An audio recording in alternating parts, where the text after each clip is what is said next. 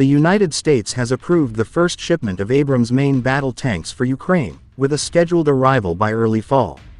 This was announced by Army Acquisition Chief Doug Bush on August 7.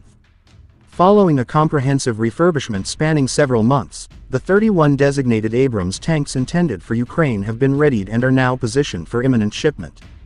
Doug stressed that the transfer would include a comprehensive equipment package required for the tank's support and maintenance. They are done. Now they have to get to Europe, and then to Ukraine, along with all of the things that go with them, said Bush.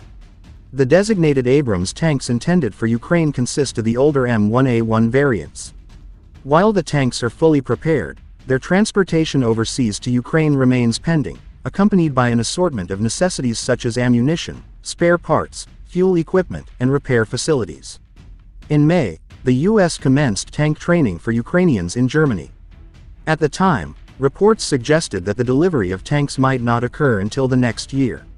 However, earlier this year, the U.S. decided to expedite the tank shipment process by transferring older M1A1 models instead of the newer, more advanced ones. Bush emphasized that the primary aim is to ensure the delivery of Abrams tanks to the unit level by early fall. Yet, he refrained from providing a specific date or month for this deployment. But, a recent report by Politico indicated that the tanks are anticipated to be actively engaged on the battlefield by September. Bush affirmed the accuracy of the information that had been previously shared without specifically mentioning the Politico story.